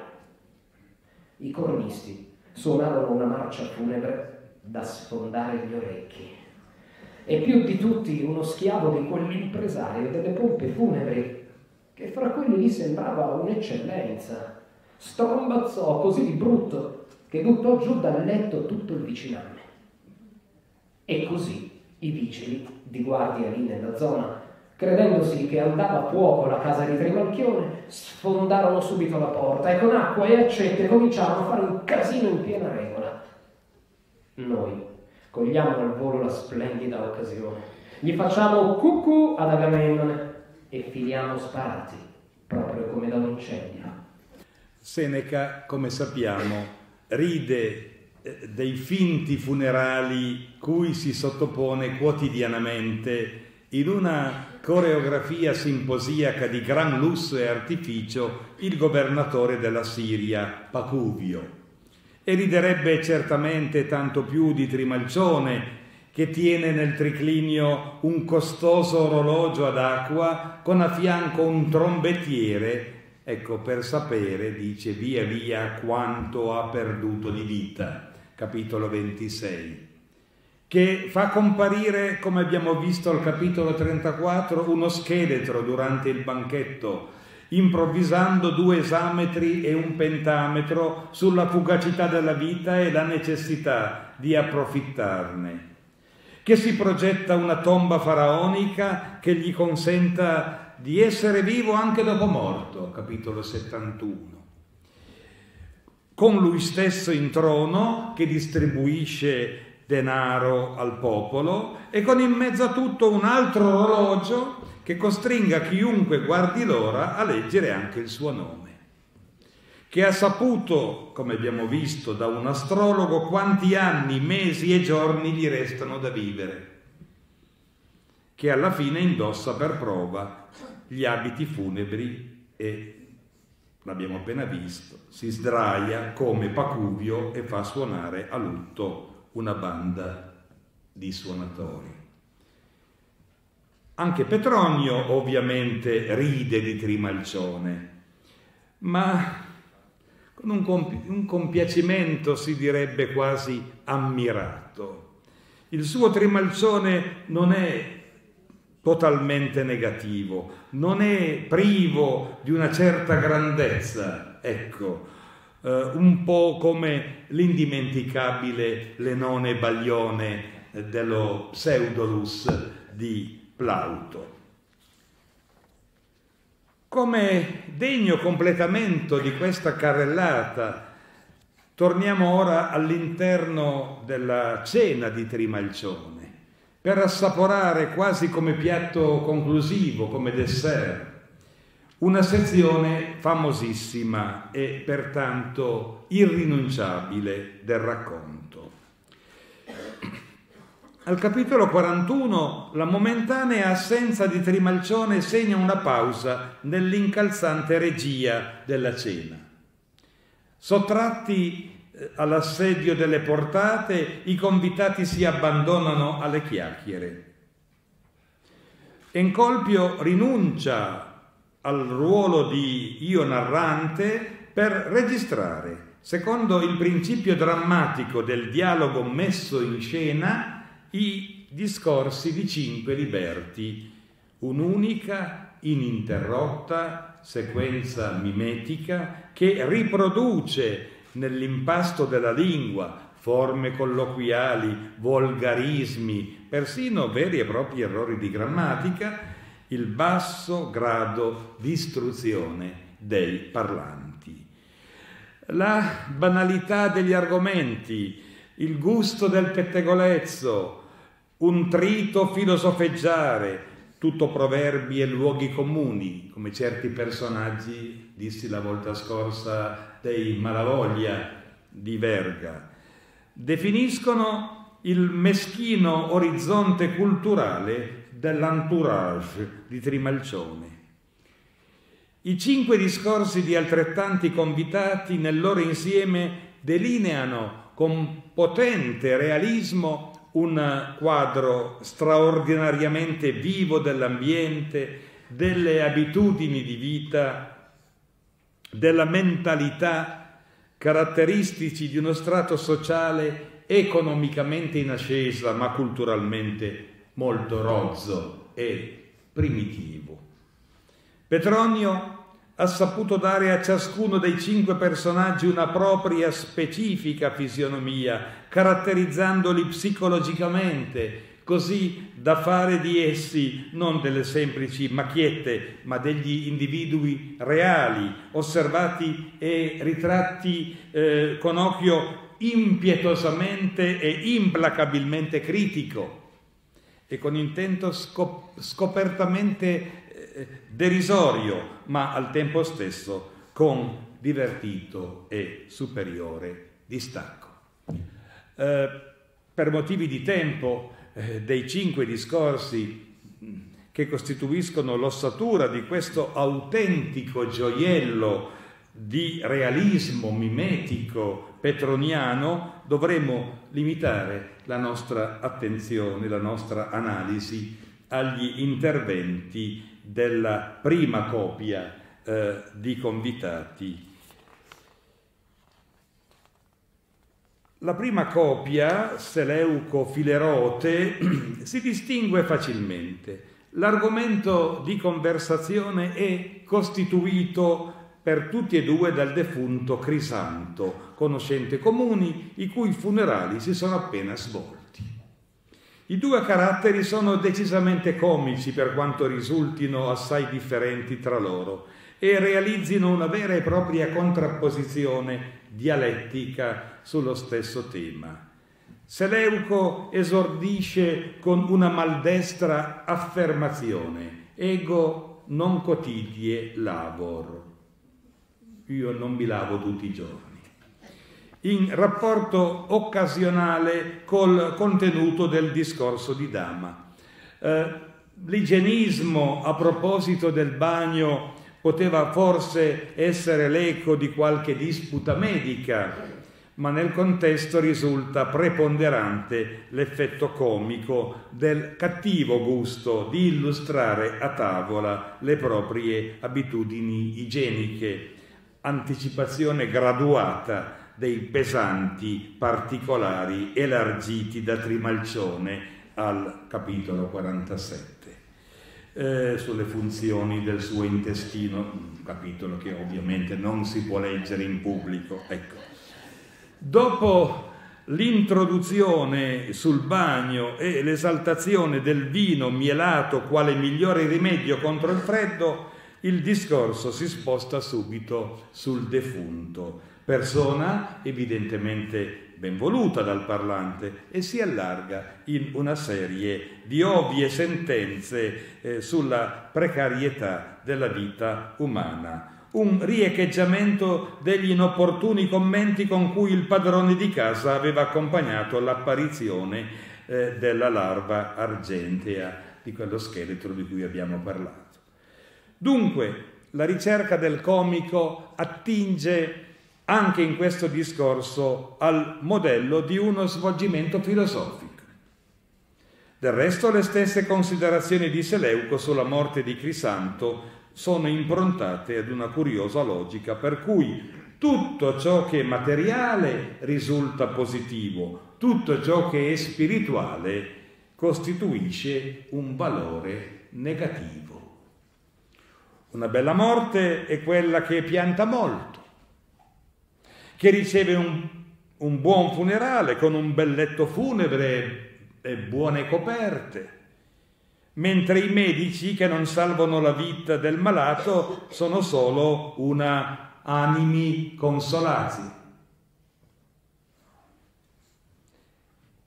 Tale rovesciamento dei valori più consueti evidenzia la parodia del dialogo filosofico. La violenta serie di invettive contro le donne, motivo topico della commedia e della satira, conclude degnamente la tirata pseudo-filosofeggiante in un crescendo ben costruito. Vediamo questo primo intervento che satirico in 42, capitolo 42. Seleuco subentrò nei conversari. Ah, io, io mi lavo tutti i giorni, che la bagnarola è una macchina per il macero, l'acqua ha i denti e il nostro cuore ogni giorno va in piscio. Ma quando ho buttato giù una ciotola di vino mielato, Al freddo gli dico vai a farti fottere. Oggi poi non ho potuto lavarmi. Sono stato a un funerale. Gran bell'uomo, e per bene, quel crisanto che è morto. E mi aveva appena chiamato. Mi pare di starci ancora a parlare con lui. Ai ai, siamo trigonfiati che camminano. Siamo meno delle mosche. Quelle almeno qualche po' di energia ce l'hanno. Noi invece non siamo più delle bolle di sapone. E allora, se non fosse stato così a dieta, cinque giorni in bocca non ci ha messo un goccio d'acqua, una briciola di pane. Eppure se n'è andato nel mondo dei più. Sono stati i medici ad ammazzarlo. Anzi, meglio, la mala sorte. Perché il medico non è altro che un pannicello caldo per il morale. Ma gli hanno fatto un bel trasporto sul suo catafalco e certi bei drappi. Il compianto era ottimo, schiavi ne aveva liberati parecchi, anche se la moglie lagrime ne ha spremute poche. E allora, se lui non l'avesse sempre trattata coi guanti, ma le donne, come donne, sono una razza d'avvoltoi. Bisognerebbe che nessuno gli facesse del bene. Tanto è come buttarlo in un pozzo. Un amore invecchiato poi è un cancro. Subito dopo viene introdotto il discorso di Filerote, il quale esordisce con una battuta sentenziosa che si rivela presto una imbuffa contraddizione con il seguito. A eh, Vivorum Menerimus, cioè pensiamo ai vivi, dell'esordio, segue tutto un discorso che tratta esclusivamente del morto Crisanto, per cui l'effetto comico lievita poco a poco nella tirata, col eh, progressivo affiorare degli elementi, degli elementi che contraddicono puntualmente l'inizio. Filerote è personaggio maligno, invidioso, che non è certo indotto dalla morte di Crisanto a usare nei suoi confronti una qualche indulgenza. Il suo discorso è forse quello sintatticamente più spezzato e confuso, il più volgare comunque nel contenuto, così come nel linguaggio. I difetti del morto vengono passati in rassegna con straordinaria durezza, senza concedergli alcun merito, se era ricco, dice, era solo perché fortuna e filius, mentre i vizi più privati sono impietosamente messi alla berlina. La buonanima di Crisanto ne esce completamente a pezzi, distrutta dal susseguirsi spietato delle odiose punzecchiature che lo squallido Filerote gli indirizza. La maligna tirata è certamente emblematico esempio di cattivo gusto, violazione delle più elementari buone maniere che non indulgono a colmare un defunto di insulti e di insinuazioni e come tale deve essere senz'altro colta dal lettore. Ma una volta eh, svelata la trama di riferimento che collega come abbiamo visto la volta scorsa, il satiricon al simposio di Platone, non sfugge che il discorso di Filerote costituisce di fatto una perfetta antitesi a quelli del dialogo platonico, strutturato, come si sa, in una serie di dichiarati elogi di Eros e concluso con il famoso elogio di Socrate da parte di Alcibiade. L'intervento del liberto acquista intero il proprio spessore comico, non solo grazie alla sua struttura interna, organizzata nel progressivo svelarsi della contraddizione con la battuta iniziale, non solo dalla smaccata volgarità di contenuto ed espressione, ma anche dal riferimento intertestuale la parodica inversione di un modello privilegiato. Agli elogi del simposio fa qui riscontro l'antielogio di Crisanto. E non basta. Il circolo della parodia si chiuderà con un altro ancora più evidente termine di riferimento nella cena. L'autoelogio di Trimalcione, che abbiamo visto, il quale non ha una celebrazione nelle parole dei, dei convitati, ma solo da se stesso. Goffo celebratore dei propri successi e della propria carriera economica. Vediamo l'ultimo testo, il eh, capitolo 43. Diventava uno strazio e Filerote gli dette sulla voce. Ma pensiamo ai vivi, lui ha quello che gli spettava, ha vissuto bene, è morto bene, che ha da lamentarsi? È venuto su dal niente e un baiocco era pronto a raccoglierlo coi denti dalla merda. Poi si ingrandì come ingrandì, che pareva un favo. Diavolaccio, mi sa che ne ha lasciati centomila tondi e tutti in contanti. Ma per dirla proprio come sta, sapete che ho mangiato lingua canina, ci aveva una grintaccia, la parola velenosa, un carattere litigioso, mica un uomo. Il fratello sì che era bravo, amico con l'amico, una mano generosa, una tavola sempre da leccarti i baffi. Al principio ebbe la sua gatta da pelare, ma si riaggiustò le costole alla prima vendemmia che vendette il vino a quanto gli garbò. Ma quello che gli fece alzare il mento fu un'eredità che incassò rubando una fetta più grossa di quella che gli avevano lasciato. E quella testa dura, arrabbiato com'era con il fratello, vincolò il patrimonio a non so che figlio di nessuno. Chi se ne sbatte dei suoi, se ne sbatte di tutti. E poi si tenne degli schiavi come oracoli e quelli lo mandarono in rovina. Chi sta subito a sentire gli altri a bocca aperta non ne infila mai una buona, specialmente se sta negli affari. Ma il, fatto, il fatto è che se l'è spassata finché visse.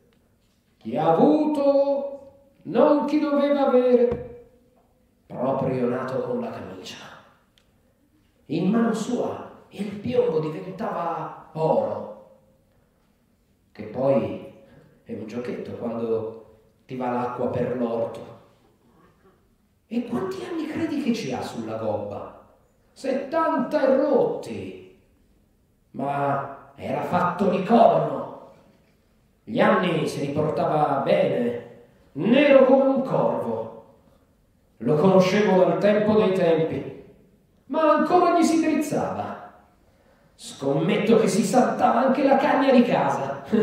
e gli piacevano pure i ragazzini, uomo d'ogni ghiribizzo. Ma non lo rimprovero, che solo questo si è portato via con sé.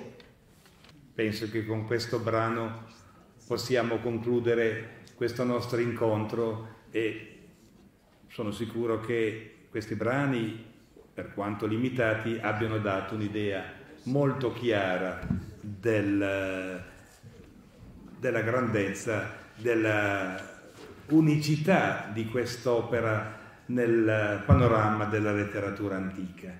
Grazie a tutti e arrivederci a San Giuseppe.